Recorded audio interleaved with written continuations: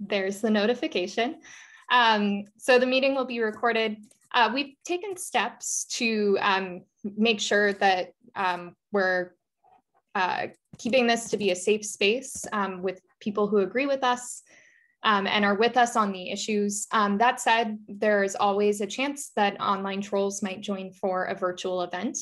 Um, in the event that that happens, you, I will put up this image on the screen until we've properly removed that person from the chat. So we'll just pause the program, I'll put this up, and the minute that we're able to um, remove that person from the meeting, then we'll jump back into the discussion.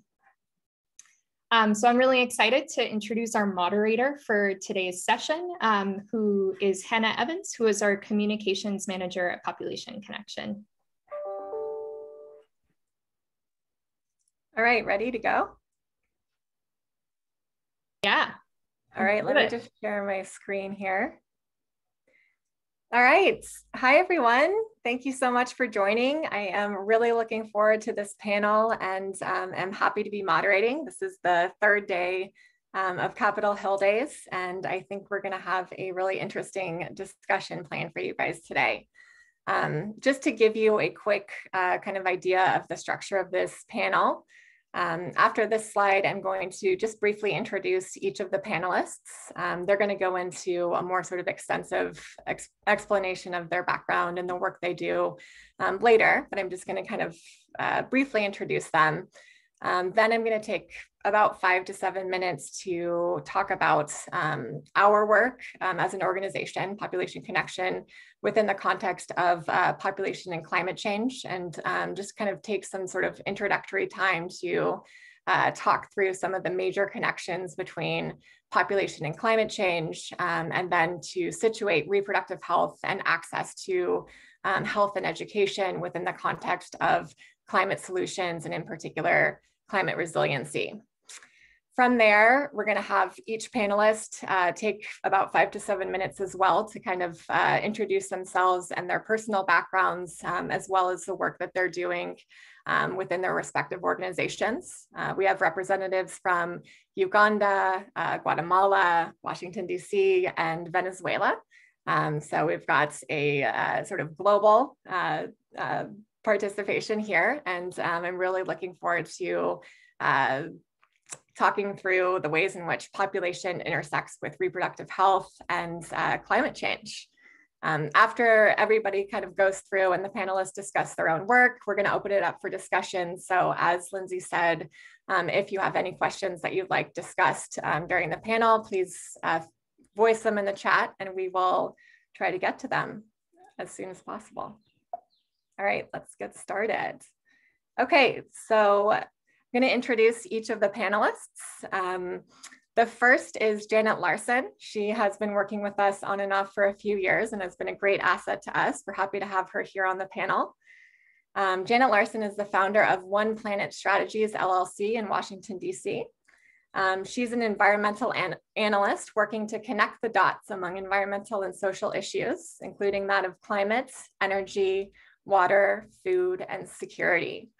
As the founder of One Planet Strategies LLC, Janet does interdisciplinary research, writing, and analysis as an independent consultant. Previously, Janet worked at Worldwatch Institute and was one of the incorporators of the Earth Policy Institute, where she led the research team for 15 years. With Lester Brown and colleagues, she co-authored the books The Great Transition, Shifting from Fossil Fuels to Solar and Wind Energy, and The Earth Policy Reader. Janet earned a bachelor's degree in earth systems from Stanford University and a master's in environmental management from Duke University.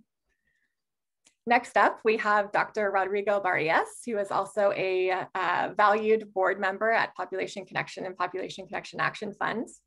Um, he's also the executive director of Wings Guatemala. Um, he served on uh, Wings's board from 2011 to 2014 becoming president of its then Guatemalan subsidiary ALAS in 2014. He brings over 18 years of experience working in both the private and public health sectors in Guatemala and the United States. Um, Rodrigo holds an MD degree from Universidad de San Carlos de Guatemala and an MBA degree from the Universidad de Complutense de Madrid. Before joining Wings, Rodrigo held the position of health manager for USAID's Project Alianzas and worked closely with Wings to execute multiple projects. Rodrigo is proud to be raising two feminist sons with his wife. It was kind of abridging everybody's uh, um, bios, but I really wanted to include that last sentence because it's my very favorite. Next up, we have Dr. Gladys Kalema Zikusoka. She is the founder and CEO of an organization that does some really, really amazing work in Uganda called Conservation Through Public Health. Um, it was founded in 2003 and is and they set up one of the very first One Health field programs in the world to protect endangered gorillas and other, and other wildlife. After graduating from the Royal Veterinary College at the University of London in 1996, she established the Uganda Wildlife Authority's first veterinary department. In 2003, she completed a zoological medicine residency and master in specialized veterinary medicine at, or at North Carolina Zoological Park, excuse me, and North Carolina State University. In 2015, she founded Gorilla Conservation Coffee to support farmers living in uh, habitats surrounding where gorillas are found. And last but not least, we have Steven Bloomstein. Uh, I think he's calling in from Venezuela or, or perhaps Florida. Um, in either case, he is the president of a great organization uh, that does um, some really impactful work in Venezuela called Turimiquire Foundation. Um, and Steven grew up in the Boston area and graduated from the University of California at Berkeley before moving to Venezuela in 1973 to homestead in a natural setting and raise tropical fruits.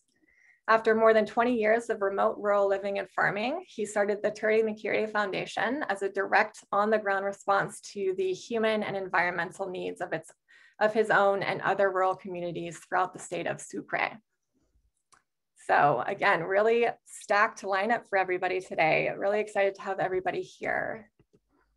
Um, and again, just quickly before we kind of get into the more uh, focused view of things, I wanted to give a brief kind of introduction into population health and the environment, as well as um, um, you know, uh, population connections sort of focus on environmental issues as they relate to population dynamics and access to healthcare. Um, obviously, uh, this, this conference is very much focused on the sort of policy um, and advocacy side of things. Um, but there's other, the, the other parts of our organization are very focused on sort of uh, education and outreach surrounding these broad sort of conceptual issues and their intersections. Um, so as an organization, Population Connection, again, focuses on the links between global po population dynamics and population growth, access to comprehensive uh, healthcare, and environmental sustainability. So we often use a really macro and sort of global scale to analyze and educate a, a, about the different ways that population growth impacts the planet. Um, and a lot of our work outside the policy and advocacy sphere is centered on education and outreach surrounding the various ways in which people interact with their environments um, and contribute to and are, and are affected by global environmental issues like that of climate change. Um, and we look at innovations in family planning as being central, of course, to addressing um, and meeting human rights standards globally, um, but also as a, a an, an, important uh, integrated developmental solution that simultaneously addresses social, economic, and environmental issues within societies. We also utilize, as well as everybody else um, on this panel today, what's called a PHE, or a population health and environment approach to developmental solutions. Um, and each panelist is going to go into much more depth uh, of regarding this concept, but um, essentially from an educational standpoint, what that means for us is that we strive to educate about the very interconnected nature of uh, environmental environmental sustainability as well as uh, public health.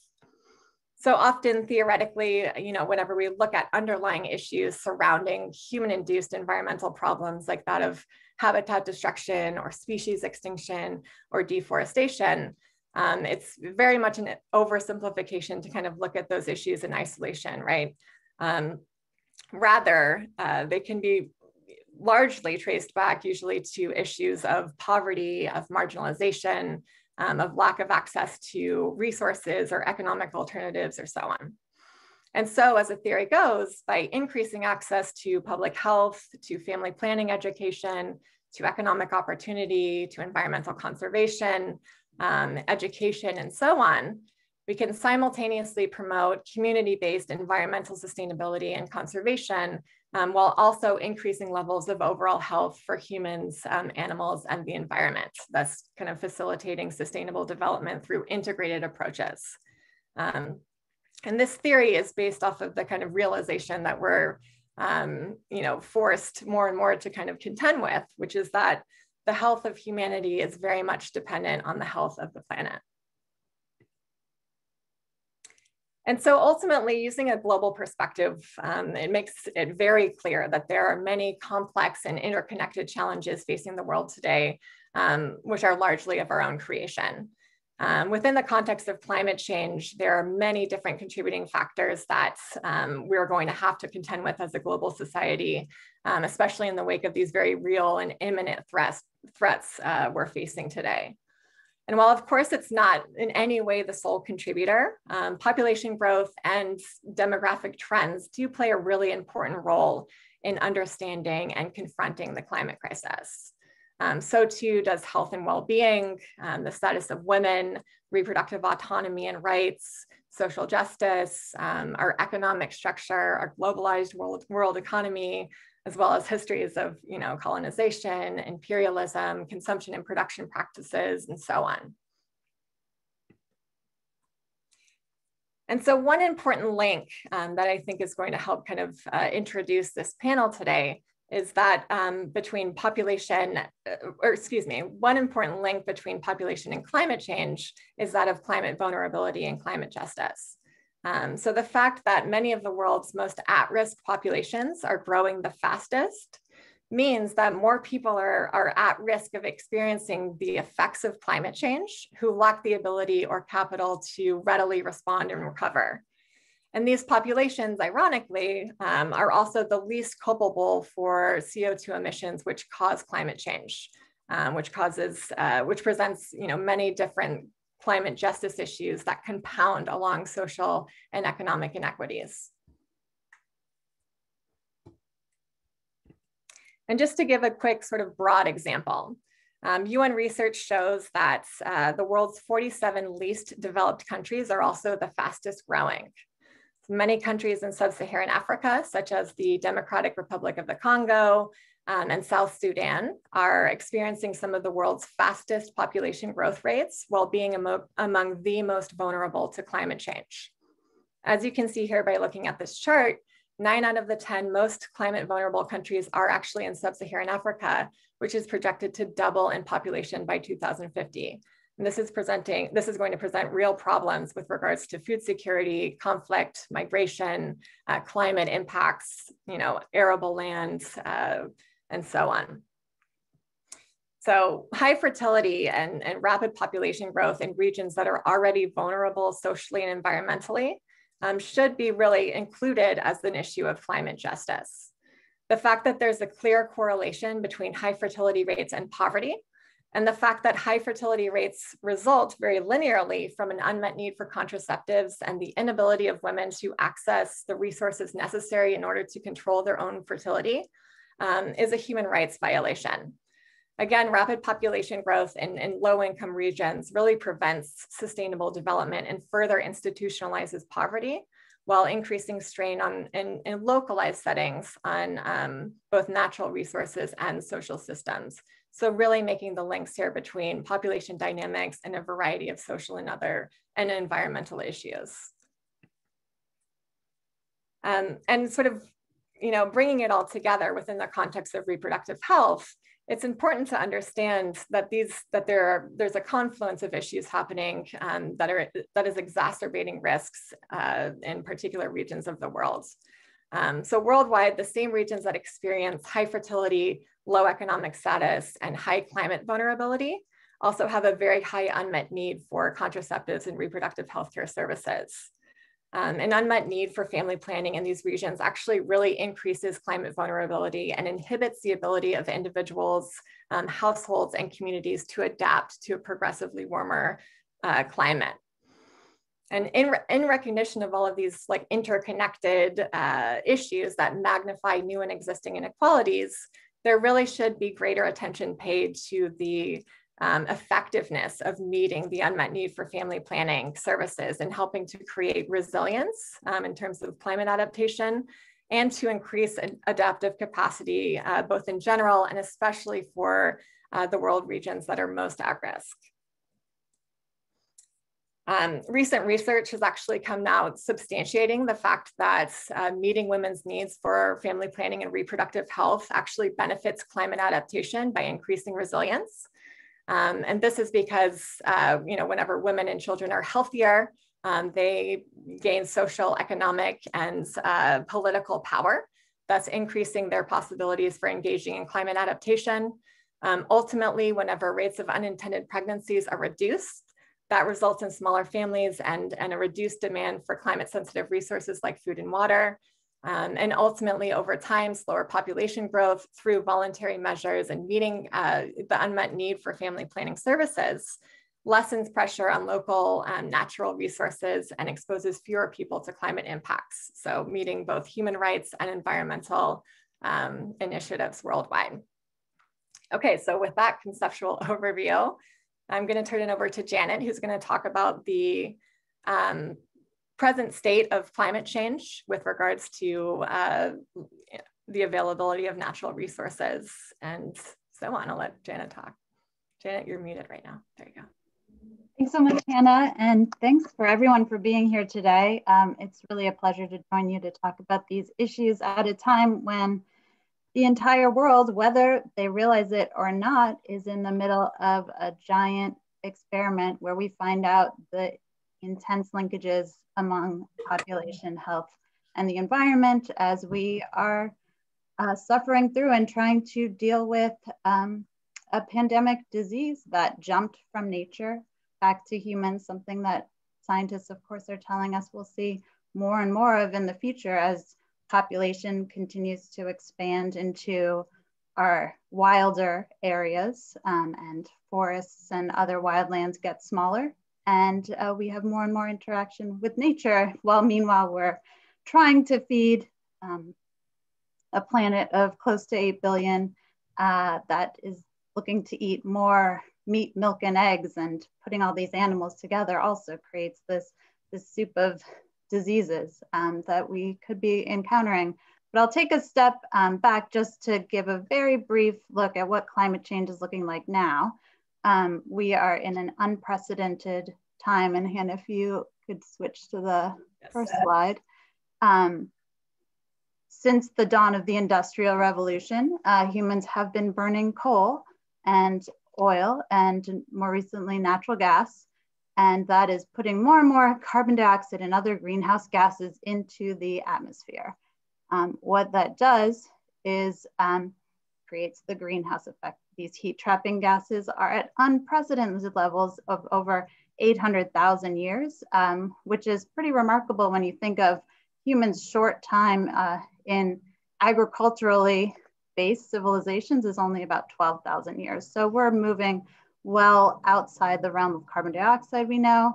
We can see um, in the next slide how this is um, playing out in terms of global temperature just since 1850. We've moved well beyond the average temperatures um, and we're now close to a degree Celsius higher than we were at the start of the industrial era. So what this means, um, we can just slide through the, the next series of, of photos, we have melting ice, uh, melting sea ice in the Arctic, melting ice on our ice caps, Greenland, Antarctica, in the mountains, our mountain glaciers, which we call our reservoirs in the sky. These are the areas that supply water during the dry season to much of the world. Importantly, um, most of Asia's major rivers originate from glaciers in the Himalayas and the Tibetan Plateau, um, these are all experiencing increased melting, which means in the short term, more water. But in the long term, you can start to see some rivers start to go dry. We're having soil erosion. Um, and there's a report from the US Embassy in, uh, in China called Desert Mergers and Acquisitions. It's not mergers and acquisitions of companies, but deserts actually moving closer, overtaking each other. We can keep uh, flipping through the slides. Um, and so this is what happens as deserts merge and spread. Um, and this is from the trifecta of overplowing, overgrazing, and overpumping. Um, and so what overpumping looks like, we can see here, this is in Saudi Arabia. Saudi Arabia figured out how to use those that oil well drilling technology um, to get deep down into fossil aquifers under the desert and for many years was growing wheat. They just they realized though that it is a fossil aquifer. That means the water is not replenished with rainfall. Um, and so like an oil well, once you overpump that, eventually the water will, will run out. And there's overpumping happening at various scales in at least 18 countries in the world. That's probably an underestimate, but home to about 4 billion people. Um, so in the short term, just like those river glaciers, overpumping gets you more water and higher food production. But in the long run, you have to figure out new ways to get water once underground aquifers are, are depleted or overpumped past faster than they can be replenished naturally. So we can keep, next slide. So the water requirements of food are enormous. Uh, just the back of the envelope calculation, it takes about a thousand pounds of water to produce um, one pound of grain. So then you scale that up to uh, meat, milk, eggs, and the water requirements of the typical American diet are humongous. This is what most Americans would consider a pretty paltry uh, serving of beef, and yet it requires 86 gallons of water to produce.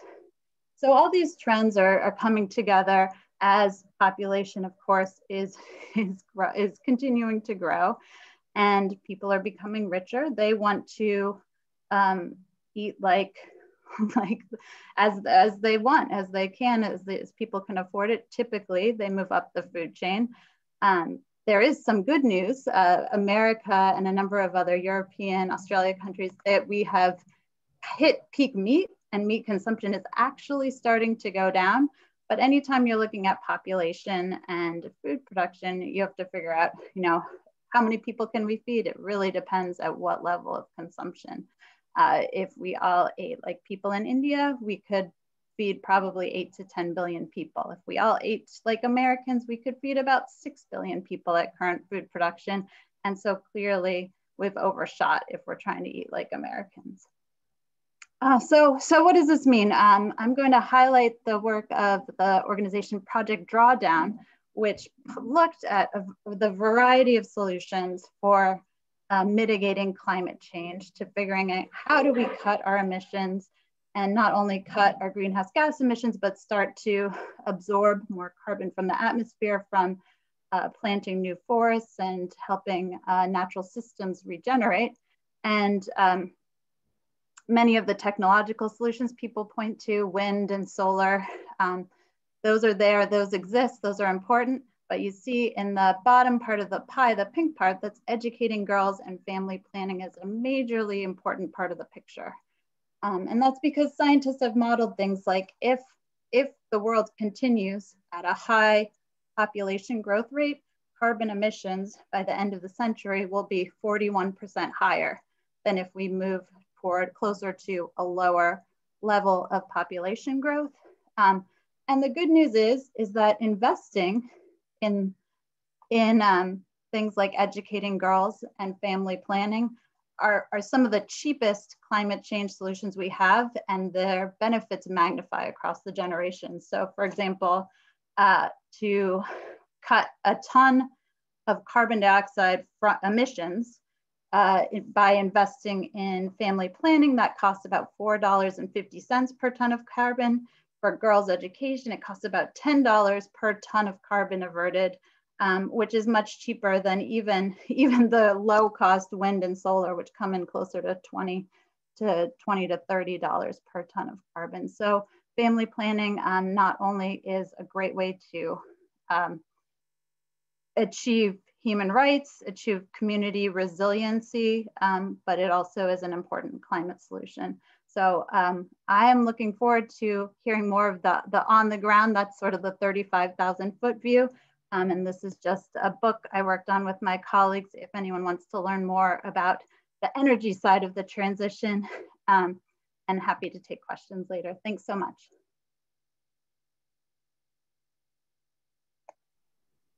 All right, thank you, Janet. Now what we are going to hear from Rodrigo. Rodrigo, take it away.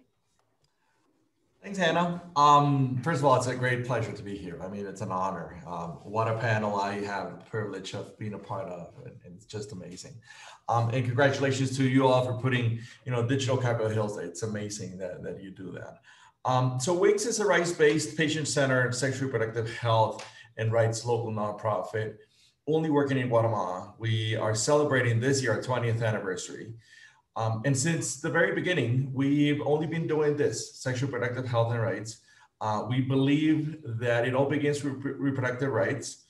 Um, it's to us, it's it's the, the beginning of absolutely everything, right? Uh, unfortunately, in a country like Guatemala, there's still so many barriers like lack of access to care, lack of education, um, you know, political instability, lack of government services, um, norms that discourage uh, contraceptive use, and that's a big issue um, in a country that's that's uh, historically been very conservative. Uh, both the Mayan culture and the religious um, influence, both Catholic and evangelical, uh, makes us a very conservative country, and so these barriers continue to be even you know for us after 20 years continue to be um, huge issues that we need to deal with here on every single every single day. Um, the fact, and we all know this, everyone here today, all the participants know that the problem that we're seeing is unmet need.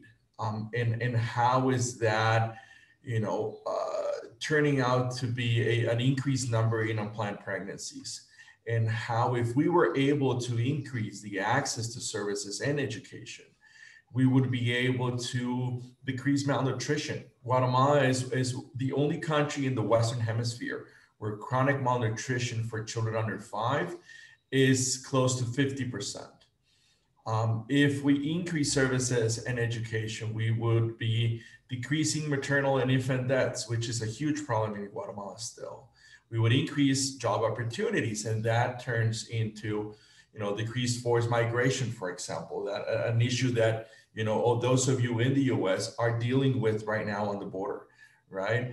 Um, it was so interesting to use a very polite word to see yesterday the decision by mexico to close its uh, border with guatemala. Um, as a result basically of getting you know 2.5 million doses of the COVID vaccine from the US, right? It's a quid pro quo. It's not about COVID. It's about how do we limit that? But how do we deal with the fact that because of the huge environmental impact that Guatemala is seeing, there's also forced migration. Um, Guatemala, there was there was a, a, a, report a few years ago, maybe five or ten years ago, from the National Geographic Society that said the Guatemala is in the top 10 um, countries for most at risk for climate change. Uh, probably not, not in the top 10 anymore, but you know, we see it every single year with the hurricanes and the droughts and how is that forcing migration towards towards the, the US, you know, looking or, you know, for the American dream. And so we're trying to deal with that here locally um, through an approach that has both education um, in sexual reproductive health, especially for youth.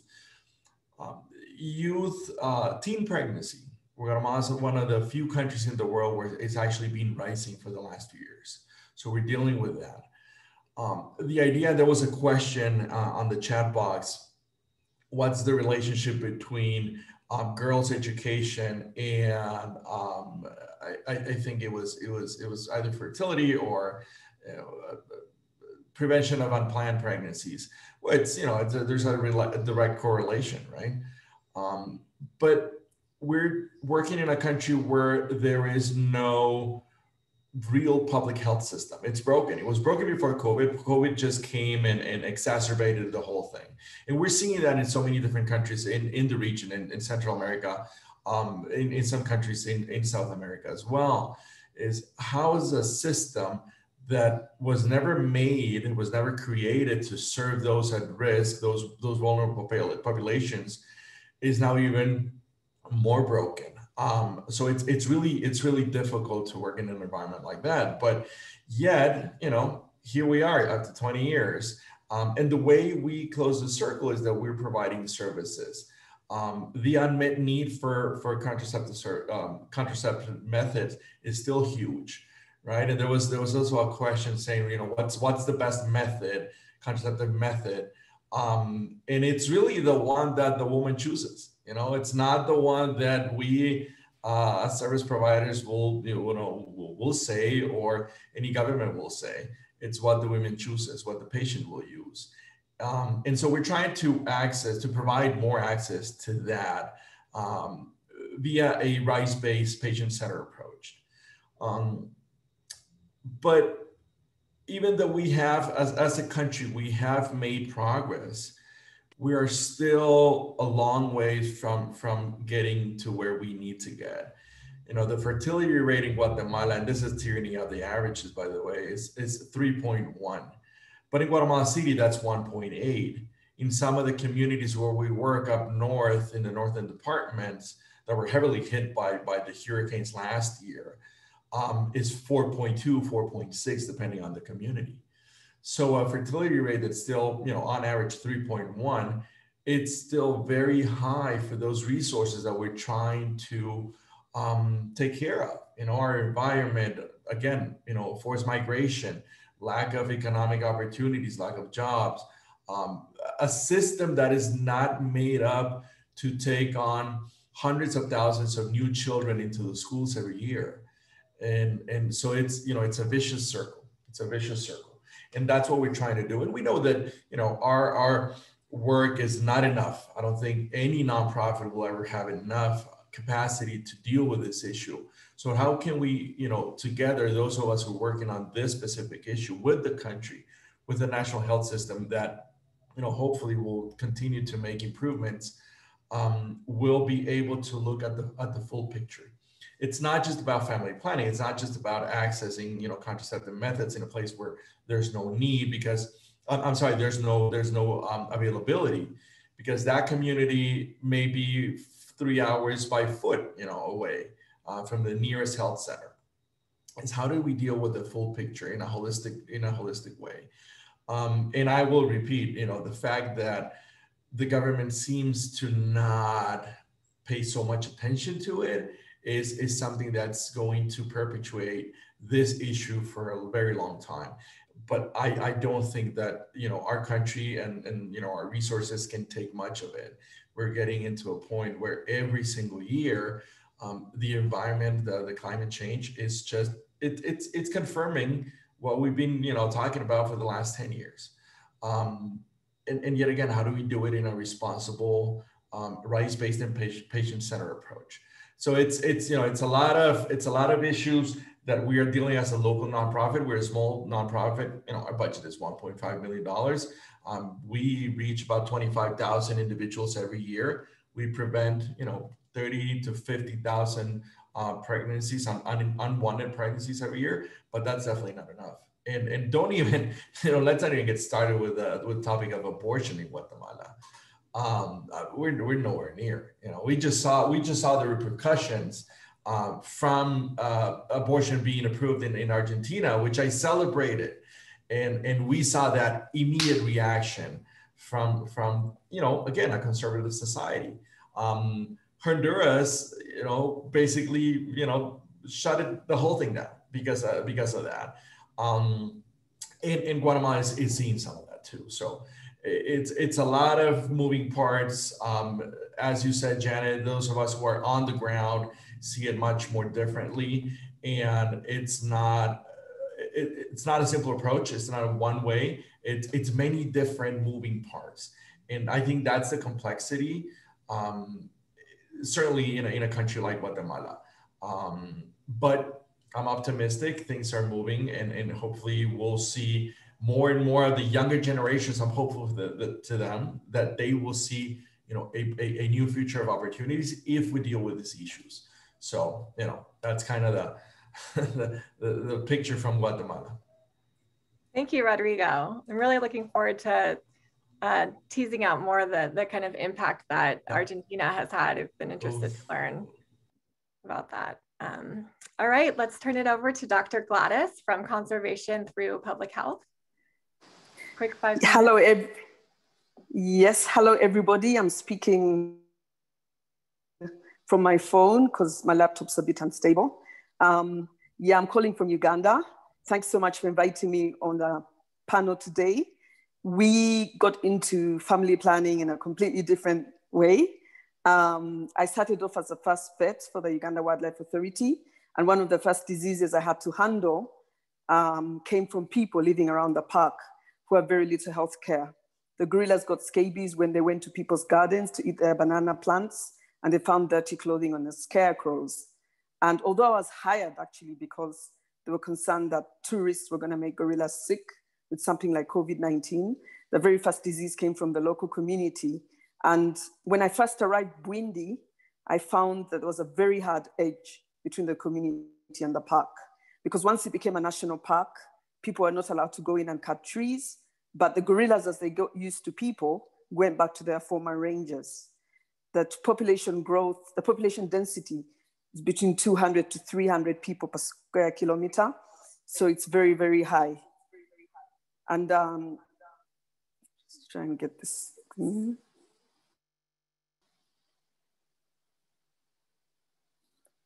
So it didn't take long for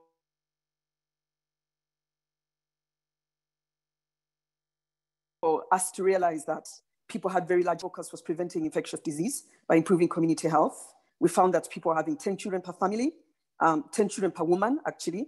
And this is just the live births. And they're just having babies every year. They didn't know what to do about it. And at first I thought, well, what does this have to do with conservation? But you found that when people have very large families, they can't give them proper health care. They have to go into the forest to poach more. They need more firewood to feed 10 mouths instead of maybe four. And so we got convinced to get into family planning. And what happened is that we are used it using a couple peer education approach because majority of the girls around us were pregnant by the age of 13. It's really shocking, but you, you never had a, a single youth. They were always pregnant.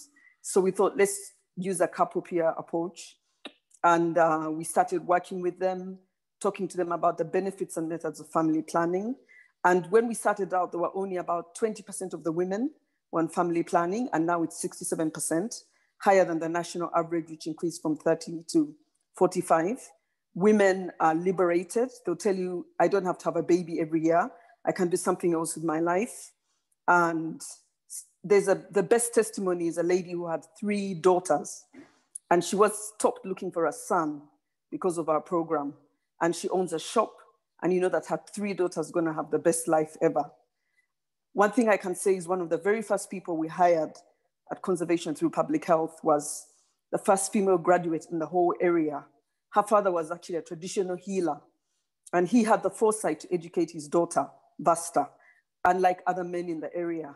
And she went and did a bachelor in tourism at Makerere University because gorilla tourism had begun. So when she came to me asking for a job, she was 25 years old. She didn't have any children. And now at the age of, um, you know, 10 years later, she has four children, which is pretty good for her community because by the age of 25, most people have had five children. By the age of 36, 10. They look very old and yet they're actually young people. So we found that family planning has made a huge difference. People are, the women are very liberated and it means that less people are going into the forest to poach and collect firewood. There has been, COVID has brought a lot of, change the dynamics a little bit, where people have become very um, poor and desperate because of lack of tourism revenue. And they've ended up having to go into the forest to poach. And that's when we got into provision of food security, where we're providing fast growing seedlings for the most vulnerable people. And I saw when I saw it on Hannah's slide, I realized food security has a lot to do with it. Um, but however, we are trying to get them to start growing food sustainably so that even when tourists come back, they can still continue eating this food. And so we're working closely with the schools as well. We're teaching the children about PHE in a sensitive way. And a lot of them are embracing it in the schools. We teach them, we have kids leagues where kids are taught to, to learn how to um, the topics we're teaching through sports. So they can't only pass the game, but they have to pass the squeeze. Um, the men are really endorsing the women being on family planning. Even the marginalized Batwa Pygmy tribe, they'll tell you that I'm, I'm having little few children because I want the children I can care about and look after. And these are the poorest of the poor. So people are really linking family planning, balancing the family budget, and having a better quality of life. It's really liberated the women and it's liberated the girl child. And we feel that in that particular part of Uganda, I've been asked by the Ministry of Health to give talks about family planning from non-traditional sectors. The day that the president of Uganda declared that family planning is fine after 30 years in power was pretty amazing. But I was there on that day and I was asked to speak in a plenary session and the head of UN um, FPA was just so excited. And uh, people realized that if you start to engage in non-traditional sectors, the conservation community, the religious communities, you can really make a lot of headway with family planning, balancing the family budget, and reducing poverty in a country that has a very high human population growth rate. So we're really grateful to Population Connection for supporting our efforts. And we'd love to host Rebecca, Hannah, Stacy, and we hope to host John one day and all of you to come over to Uganda and see the amazing, magnificent endangered mountain gorillas who I'm pleased to say that the numbers are growing. Um, as the people's population growth is reducing, the numbers of gorillas are growing. And now our biggest problem is how do we have enough land for them to grow? But since we're addressing the family planning issue, people having less land wrangles because they have less children to fight over land. We feel that it will be easier to convince people to expand so that the, good num the space for the gorillas can grow and the country continue to develop sustainably. Thank you very much. Thank you so much, Dr. Gladys. Uh, it's always really, really amazing learning about your organization. It's uh, such a quintessential and perfect uh, um, explanation of PHE approaches to development, and um, their work has just been so impactful. I love the, the explanation of being able to um, you know, facilitate conservation through increasing livelihoods and economic alternatives for people. Um, it really kind of shines light on the, the connections between social justice, climate justice, environmental justice, and so forth. So thank you. Okay, uh, last but not least, again, we've got Steven here from Turimiquire. If you could just, we're kind of actually running out of time. If you um, give just like a five five minute overview of your organization. I'm, we're really looking forward to hearing about it. And then we're gonna get into a couple discussion questions before the end. Thanks, Steve. You're, you are on mute.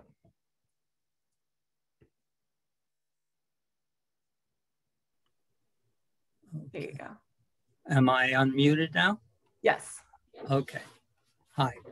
Well, I can be somewhat briefer because both Rodrigo and Gladys have pretty much covered all the main points here, and they've done it pretty well. Um, so I, we, our Turimiquire Foundation started in the late 1990s, very much in response to the uh, communities where I and our small group had been living for at least 20 years previous to that. We started um, we got into this from the ground up. We, uh, a small group of us began to do rural, remote rural farming. And I'm talking like three or four hours off from the nearest road, just hiking in where we lived with the campesinos. Campesinos are, you know, rural people in our area, mostly illiterate, uh, really struggling hand to mouth to live. And we started farming, fruit farming in the area and we were um, these are mountains in northeastern Venezuela, for the large part heavily deforested from 400 years of slash and burn farming and increasing population pressure. Um, women, as Gladys said, women 30 years old will have eight to 10 children. Those and these may only be the ones that are living. And, um, with usually several deaths and other complications along the way uh, I actually uh, wrote an article about this for the Population Connection several years ago, which I think I was called the reproductive treadmill, because these women, starting as again Gladys said, at 13 or 14 years old, start uh, having babies one after another with no access to family planning or any way to deal with it. I, remember when we started and I asked the uh, when we started doing family planning and I asked the woman, uh, when was your last period? She looked at me and said, seven years ago, because she had been sequentially pregnant one after another for all the fast years. And in fact, it turned out she had only had two or three periods in her whole life. She was about 24 years old at that point. So eh, those were the kind of wake up calls that, that um, came with our experience of actually living on the ground and, you know, in the situation. So we started our foundation in the late 90s and our working model is what we call a recipe for a thriving community. The, and, and we were speaking very directly to our community, but very quickly it, it expanded to include other communities as well. The first, the first piece in this recipe is family planning, offering women family planning there's an un as rodrigo pointed out there's absolutely unlimited demand for this. You cannot you i don't see how uh, any nonprofit or even with the government can satisfy it. It is accumulated to such a degree. In venezuela this is just as true uh, as i'm sure it is in guatemala in africa. It's just oh, it's it's astonishing. And um the women know what they want and while the men may be a little more conservative, they come around really quickly. They come around really quickly when they see the benefits for their families, for their children. You know, we have what's called machismo and a little reticent about it, but but they come around very quickly. What we learned is after you um, after you reach women and help them control their fertility, almost directly found within a year or two of a mother controlling her fertility, she focuses on wanting to educate her children. And they can, and so in our community, they came to us. This, you know, we, will, live in very close contact with our community. Once we had uh, extended family planning enough, the women came to us generally, um, and they wanted to get, you know, better educate their children. So our little foundation started an education program as well. Uh, and then what we learned is that the young girls and young women were much more open to availing themselves of these educational opportunities. And then what we learned is as these young women, um, you know, improved their education, got through high school, some of them got into college. We, we were supporting them through this process. Uh, they immediately, if they became sexually active, they immediately wanted family planning, which fortunately we were able to provide in order to, to further their own life projects, their own plans for their lives. So it became kind of, uh, kind of seamless in a way. And we also learned that mothers and grandmothers were the very first to support their daughters in family planning. In fact, they were often bringing them in. It, it, it's like, it's kind of like a gestalt. Once you get in the flow of this, it just goes. So if you have the resources, the funding, you can, it's just very easy to to grow and grow it. We then, uh, then the third part of our recipe was sort of community action, mobilizing people whose resources have now been uh, liberated somewhat, so they can now think about something else than the next child and taking care of the next baby, and and feeding all their children, and start to work on community projects, and which is a lot of fun, and and then finally, because Venezuela entered, has entered in the last 10 years into really a, a pretty severe humanitarian crisis, we've had to uh, dedicate some of our resources to just plain humanitarian aid. And as Gladys says, very simple things like food security. And these things really count when, when people are, are in that much trouble.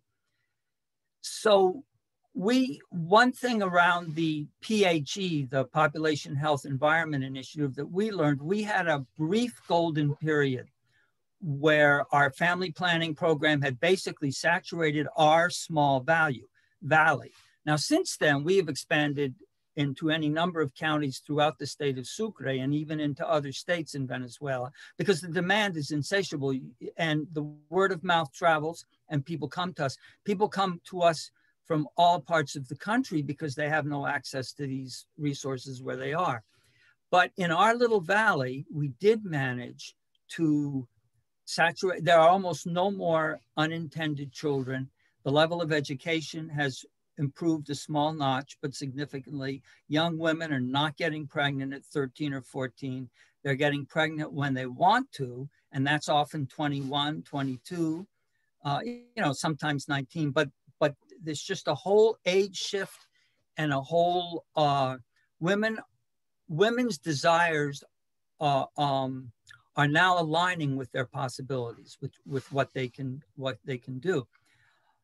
And we also noticed that the amount of deforestation in our upper valley began to cut way down as there were less mouths to feed. The men had to slash and burn the forests less in order to, to feed their families and generate enough extra money for, for clothing and whatnot.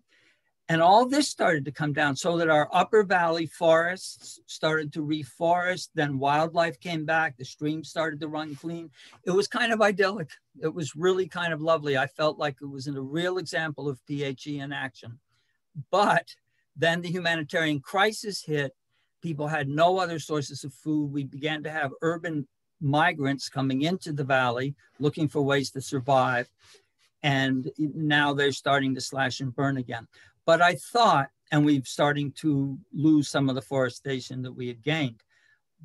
But I felt that it was a very clear example of what family planning can do for an environment.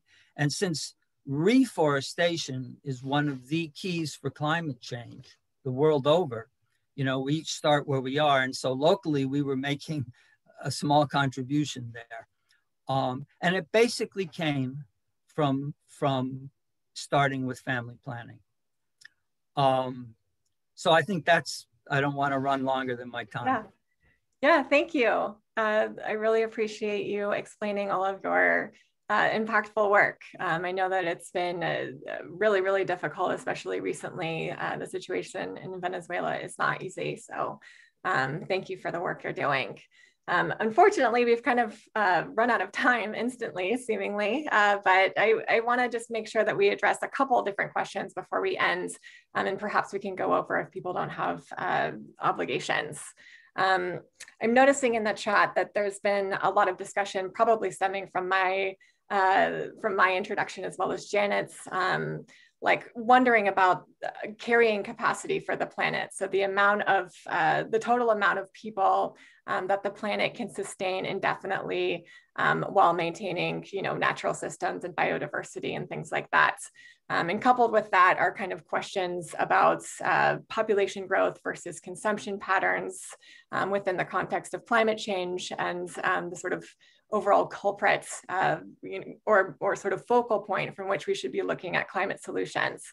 Um, and just quickly to, before I kind of get into that, I just wanted to make clear that um, we're looking at, you know, the, the sort of intersections again between population health and the environment, recognizing that, uh, you know, a lot of different systems of oppression and inequities are, are connected, right? So by addressing social inequities um, and, and by providing economic alternatives, we can facilitate environmental protections um, and conservation overall. Um, but we also recognize that population pressures do uh, you know, pose a variety of social and environmental problems, um, as each panelist has pointed out. Um, and Janet's uh, sort of analysis that looks at uh, drawdown, the, the, the research that's put forth by drawdown, um, in which uh, emissions will be offset largely through innovations in family planning and girls' education, um, is, is, is really, really good research. But it's importantly one important solution to an adaptation strategy for climate change. There are many others as well. Our work is at the sort of nexus between these, uh, these three broad sort of conceptual issues. Um, but I wanted to just open it up really quickly to um, any of the panelists, especially those uh, working on the ground in various places where fertility rates might be higher um, and, that, and where you're actually seeing population pressures. Um, you know, how, how are population pressures viewed within the context of climate change in Guatemala or Venezuela or Uganda? Um, and um, do you guys view it as something that is, uh, you know, a, a, real imminent threat? Um, I can go ahead if you want. I mean, yes, absolutely. We, we do see it, but it's it's something that's has been talked about, you know, for long. For a long time, it was it was it was the issue with unmet need was was was different. Now we're seeing from a different from different lenses. One of which is environment, right? Resources, and and at a local level. I mean, I, I can tell you about you know the, the family who has three versus 10 children right you know the the amount of of crops that they're gonna they're gonna be able to have per year is just gonna be different right um so i think we need to look at those you know small examples before we look at the whole picture right at, the, at the, at the whole planet and I know there's and, and there are a lot of comments on on you know uh, the rich countries versus uh, the, the the poor countries and eugenics versus another point of view. Um, and it, it's we're not going to get to it you know in an hour. Uh, I, I think just the start is to look at the very small examples of what's happening um, because of that, right? And, and and how do we look at this issue from different perspectives? and how can we all come together to try to you know create a solution that's viable and that's patient um, rights based right um, gladys or steve do you want to do you want to chime in there or well um you know i think that you know that's exactly right and but i think that you know these are not competing solutions every single factor that we're talking about is a significant factor that has to be addressed, especially to address something global like climate change.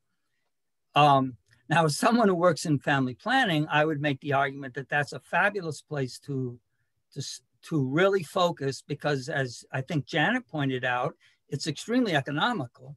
It, it's extremely doable, and it's a what's it called a sell a buyer's market, a seller's market when you don't have to sell it. It, it. it markets itself. There's an enormous demand for this. So it's also a way to offer people their human rights, you know, their, their potential to fully evolve, especially young women, girls and young women. So, you know, I think while all of us have to work on the parts that we personally care the most about or are at the best at, uh, so my part is to lobby for that, for the family planning part. Right. And and ultimately, yeah. oh, sorry, go ahead, Gladys. Yeah, just to add on to what Steve said, if you're able to balance your family budget and you're able to have the children you can afford, then it makes it easier for you to, you know, cope with climate change. And it's just all what it all, all comes together. It's all about being able to manage yourself and having a better quality of life. And actually, for women in developing countries, family planning is is actually um, a, a basic human need, you know, human rights. So the more that you can liberate them and the more their husbands support them, then they plan together, then they're better able to cope with climate change. Right, right. And that's the point I was going to bring up as well is, is that of, of climate resilience, right? This is very much about, of course, giving people access to their fundamental human right to choose when, whether, and with whom to, have, to become pregnant, but it also yields a variety of other social, environmental, and economic benefits to society.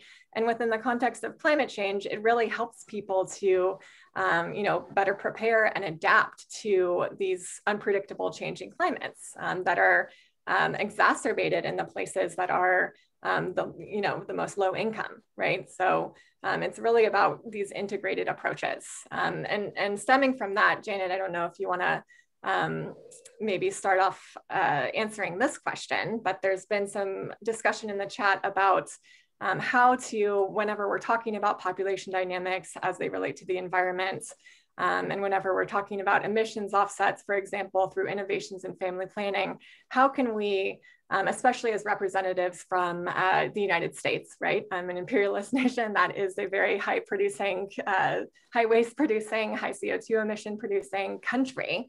Um, how are we able to um, frame this issue in a way that uh, institutionalizes human rights rather than um, uh, assumes or infers population control measures or eugenics?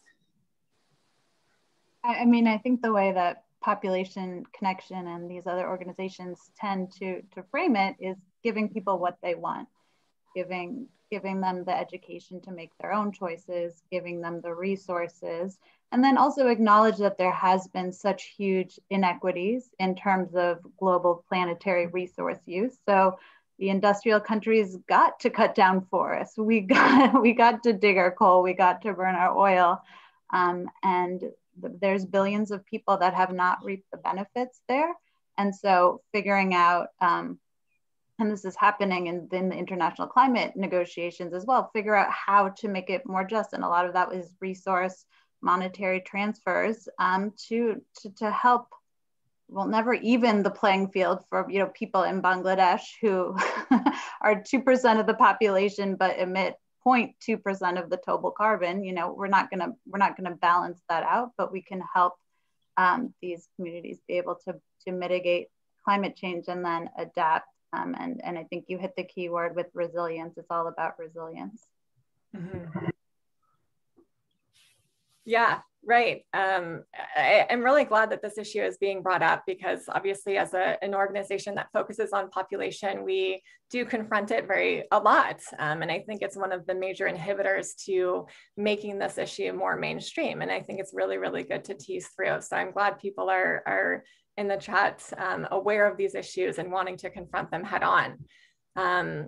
I think ultimately we have to recognize climate change as an existential threat, right, to humanity. And this is, uh, these threats are very imminent. They're happening. We're already seeing climate impacts now. So this is about kind of organizing and understanding the scope and severity of the issue and approaching it in a, in a comprehensive and nuanced way, right? As Rodrigo said, there's not just one solution to climate change.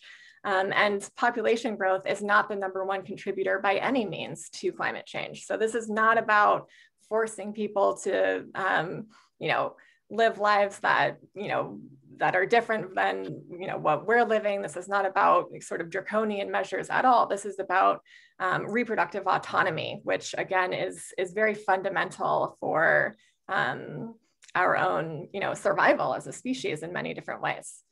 Um, I think that perhaps we have question time for, for maybe one more. I know we're already running over time here.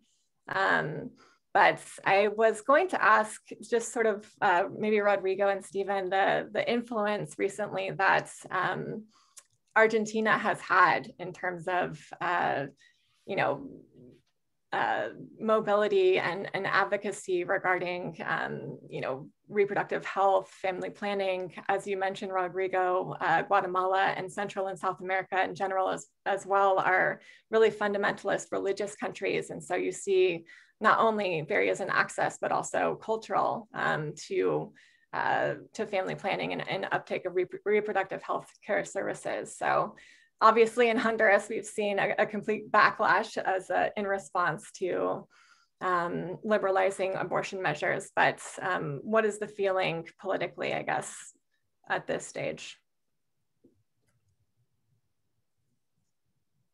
Steve, you want to go ahead first? Um, well, I can be, uh, yeah, because I think you may have more to say about that. In Venezuela, in the part of Venezuela where, where we work, which is really a remote rural area, uh, abortion is really not that much of a of a factor. Very, it's deeply Catholic, and um, it's practiced. Of course, it's practiced, but it's it's not really part of of the. Um, uh, it's not really part of an agenda that we have to deal with very much. It's very much in the background. Uh, and the Argentinian um, decisions and their their progress was applauded by the by the educated, uh, let's say, class that we work with.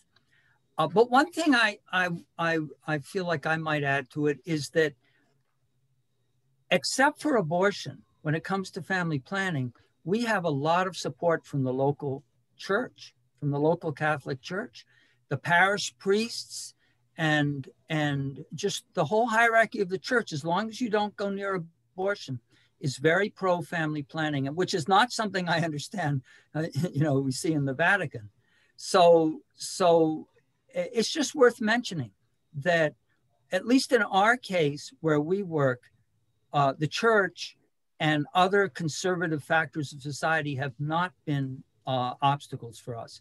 In fact, they they to some degree have helped. Uh, but again, you don't go near abortion.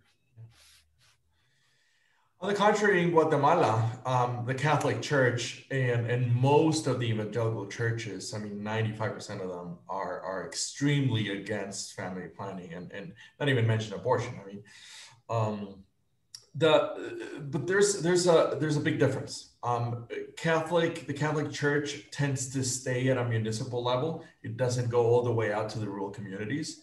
You see some evangelical churches out there, and they're more open to family planning. Um, so we, you know, it, it's kind of a playing the system in a way, right?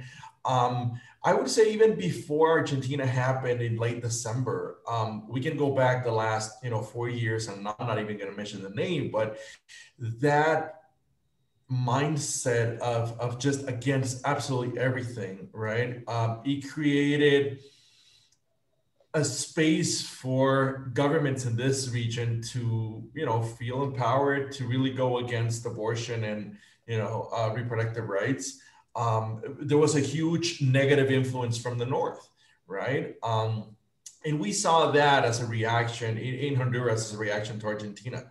Just be you know this president that felt that he could you know basically react in congress and and outlaw abortion um, in, in Guatemala, abortion is only uh, approved if, if the woman's life is in, is in danger, is at risk.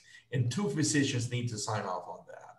So in, for practical purposes, abortion is absolutely, you know, illegal. It, it's not accessible to anyone. Yeah, there's 60,000 abortions on average every year. Um, but it's it's a topic that we cannot talk about. It, we we don't even like like Steven said, we don't even go near that because we know the waves are just going to come plumbing down. And we saw it in, in December. You know, the ultra conservative right reacting to, you know, a country in Latin America um, legalizing abortion was just like, what's what's happening here? We need to react to this. Um, so in, in that sense, for that specific issue, we try to stay under the radar. The fact that we're not in Guatemala City, but we're, you know, in a, in a small town in Antigua, uh, kind of helps us navigate that. Uh, but yeah, I mean, we, we see it from the conservatives uh, in the city, you know, the, the, those that are in power, you know, in government and, and the elites, um, just going fully against it. So, you know, not even not even able to talk about it. Um, but there was definitely a reaction after Argentina. Those of us who, who are progressives that are educated, like Steven said, applauded, applauded immensely. Uh, but our voices, you know, are, are not too many, unfortunately. Steven? Uh-huh. You, want me to? Oh, you um, don't have to if you don't want to. No, my, uh, my experience, our experience, what Rodrigo said, if you're, if you are working out of the sort of mainstream, you have a lot more, uh, um, you may, you may experience uh, or you will not, you just cannot deal too, directly with abortion. Now, I know that in Caracas, which is the capital city of Venezuela, and it's still a big cosmopolitan city, there is a lot of pro-abortion or pro-choice uh, activity, and there are feminist groups, and they're very active. And I, because I'm really a step removed from that, I I can't, I don't really know what's going on, but uh, I'm working with several young European women doctors who are trying to set up phone apps around mobilizing that. Um, so something's going on, and and I think it's just going to continue to be a contentious issue. Mm-hmm. however, you know that it's just there's no way around that. Um, but you you may have seen Hannah. I sent you a, a photograph of a of a, a sex, edu- what we call a, re, a, responsible sexuality workshop going on in a church mm-hmm. with the crucifixion behind yeah, and everything. And these priests invited us into their church to give responsible sexuality workshops to adolescents. So, yeah, exactly. I didn't exactly. I don't think. I think they're they're cracks in the wall. They're niches, and we just have to. Maybe we start with family planning because we can't get to abortion. We start with family planning. But I think that anybody who lives in a remote or poor rural area understands the plight of the women, are, are not going to be able to, and that's uh, deny women their basic rights, you know, these very basic human rights. Right. Yeah. I mean, Argentina was just a, a really, really cool example of, of um, you know, people and society at large sort of overcoming the, the large, pervasive, um, and historically very relevant uh, religious influence. Um, so I was just kind of curious on the ground what that meant in terms of advocacy. But, but, um, but Hannah, don't forget also a government that was open to the topic, to the issue, that was mm-hmm. sensitive enough to to really take the lead on it. Um, yeah. And that's what we're lacking in most of our the countries in our region. Right. Right. Well, thank you guys so much. I'm really I I can't believe how fast that went. Um, we're already way over time. So um, if anybody has any outstanding questions, they can feel free to, to voice them in the chat and we'll try to get to them afterwards. Um, but I wanna let uh, be aware of time here since we are so far over. So thank you everyone for joining. Uh, thanks to Rodrigo, Steven, Dr. Gladys, and Janet. That was a really interesting discussion and it was uh, amazing to learn about all of the very, very important work you're doing uh, throughout the world. So thank you. Thank you all. Thank you. Happy weekend, everyone. Happy Friday. Thank you very much, everyone. Thank you. Thank you. And stay safe and healthy. Get your vaccinations.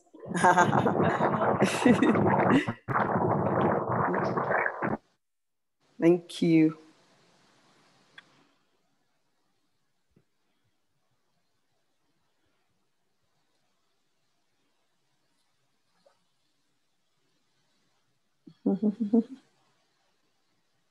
Lindsay, am I staying on? Are we staying on or what's going on?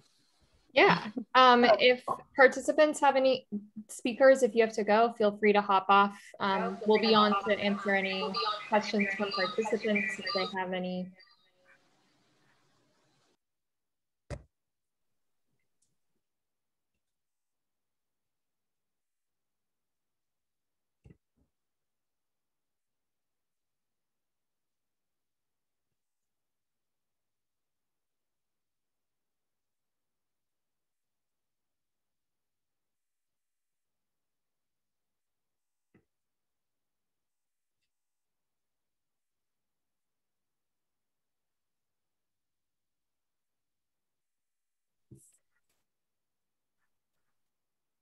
for any participants who are still on, you can feel free to either come off mute or drop any questions that you have in the chat if you have any.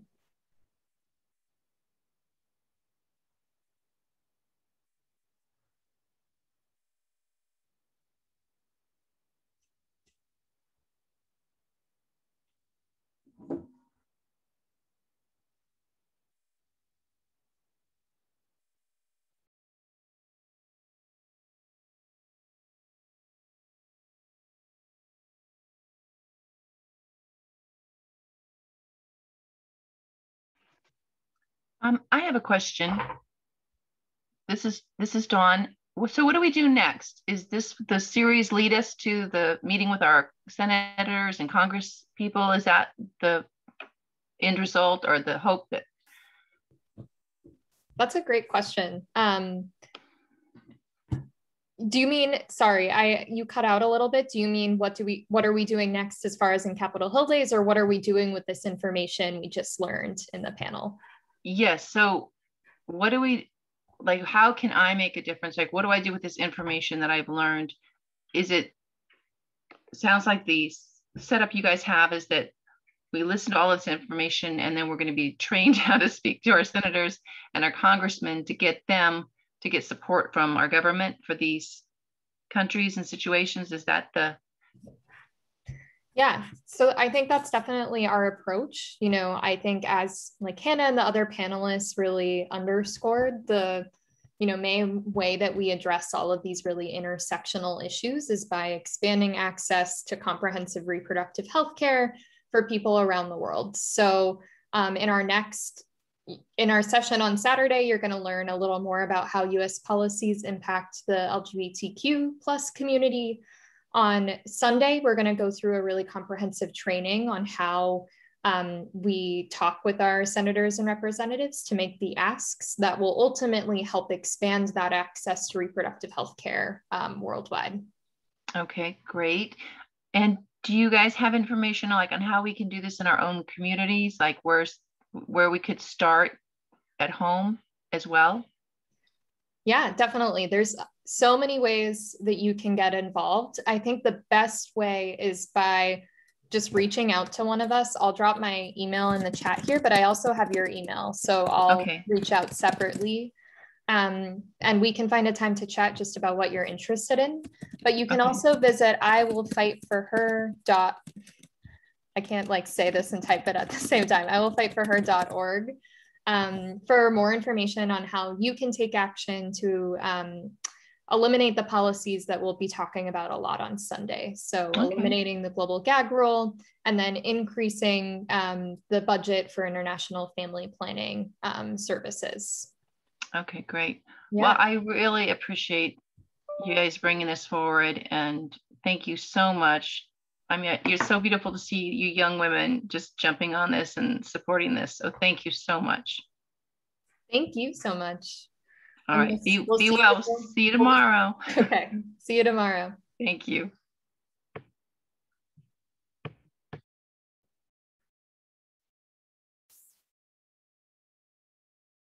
Does anyone else have any questions? Sybil, do you have a question? No worries if you don't. yeah, you can come off mute.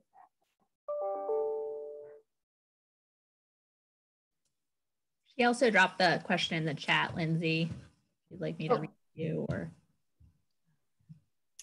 Um, Um, yeah. Hi. Um, yeah, I I think a lot of us, yeah, are inspired and also that we know a lot of this information. I'm ready for action. And I know that I will be uh, contacting my um, senators in Oregon and also uh, writing letters to our local newspaper. Um, are there other actions I can take?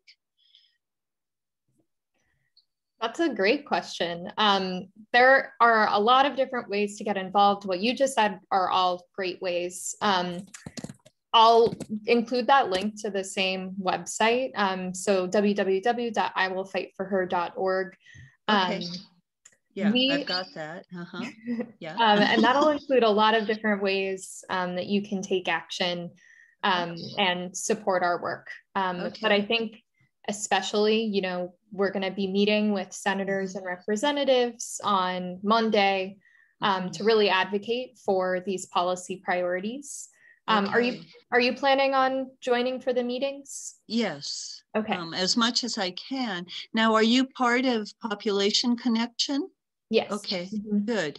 And so then, um, do you have like a form letter that uh, is helpful for, you know, sending to um, representatives and newspapers? We actually, so on Monday, we'll have, we'll be sending it out to all participants, but we'll have a really easy way where you can just like press one button and contact your senators and representatives. That includes a sample letter with the Okay, language. Um. So we can send that to you. Um, and as far as contacting newspapers and stuff like that, um, I can reach out to you separately, but we have like a template letter to the editor that you can submit to your local paper and um, things like that, which are great ways to take action. Yes, and then I can also add on to the letter, if it's not already added, your website and uh, link to. Yeah.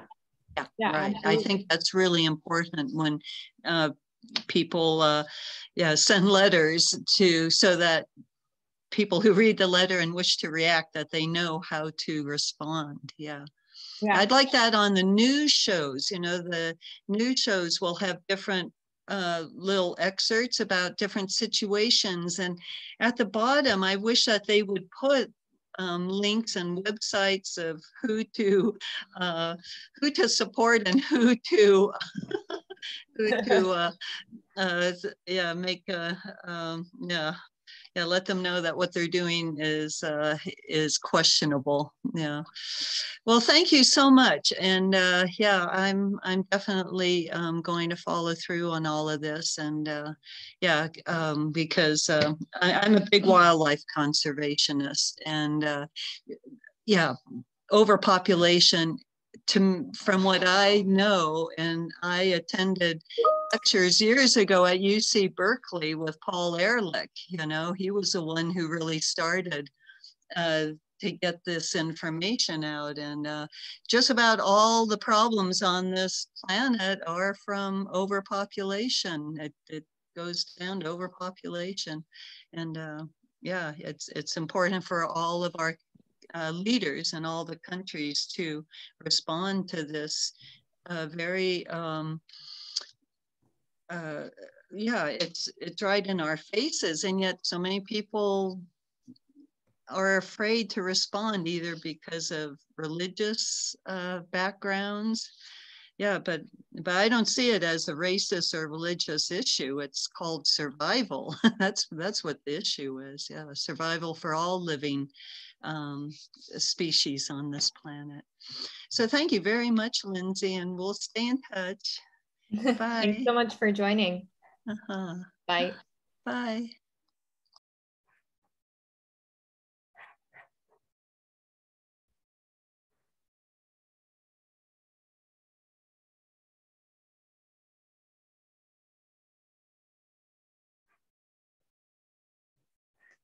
Are there any other questions from folks still on the call?